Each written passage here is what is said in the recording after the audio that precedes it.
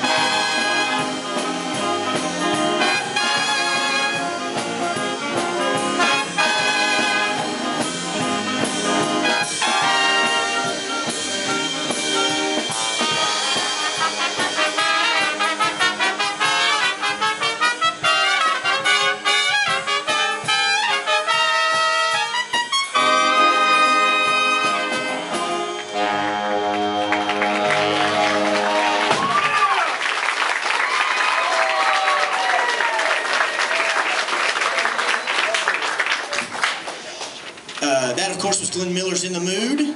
We're kind of going old school for this concert. Uh, so, and the next one we're going to uh, do is, is uh, Count Basie Duke, uh, and Duke Ellington. A bunch of old people do it. Uh, older bands did it, and the, one of the best recordings is of Ella Fitzgerald singing this. And this is Satin Doll.